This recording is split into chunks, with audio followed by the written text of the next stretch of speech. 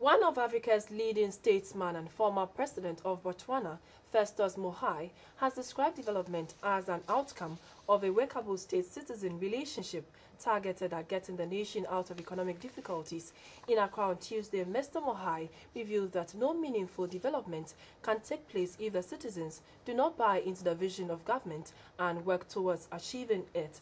He made this observation at the Flagstaff House in talks with Vice President Kwesi Amissah Arthur ahead of a public lecture at the University for Development Studies in Tamale. A story by Nuto Bibini Nuto.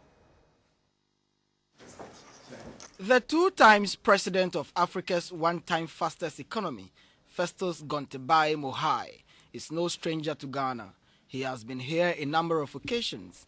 He led the African Union observation team to Ghana during the 2012 elections, delivered a CDD public lecture on credible elections and governance in Africa, and is now back for another on the management of resources and development at the University for Development Studies in Tamale. President Mogae's meeting with Vice President Amissah Arthur is a forerunner of this all-important lecture, which is meant to stimulate debate among intellectuals and development workers.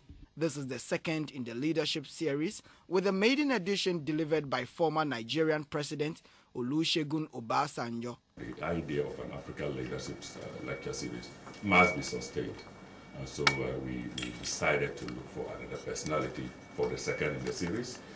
Uh, we, uh, we zeroed in, in a lot of people, but eventually we settled on His Excellency, Festus Mogae, as I've already mentioned to you, who is also the former president of the Republic of uh, Botswana.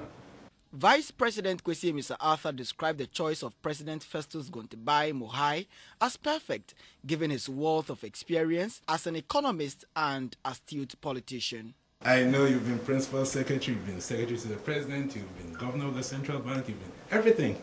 And um, your, your career and your record as president is something that many Africans aspire to. So um, your life was uh, is an example to many of us. And we hope that we'll learn a little bit from the great experience, the great store of experience that you have.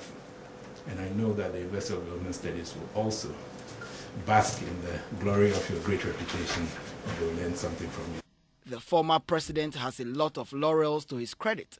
He is a former MP, former chairman of the SADC Council of Ministers, former vice president of Botswana, winner of the 2009 Mo Ibrahim Prize for Leadership, and for which reason his thoughts on resource management for development cannot be swept under the carpet.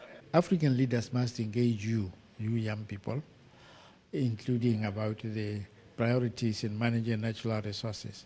But remember, the world owes nobody a living.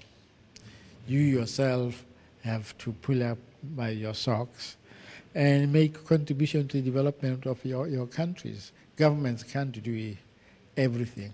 Governments have to facilitate uh, whatever and your endeavors are. The week-long leadership lectures starts from Wednesday at the University for Development Studies campus, Tamale, Nto Bibinimto, GBC 24, Flagstaff House.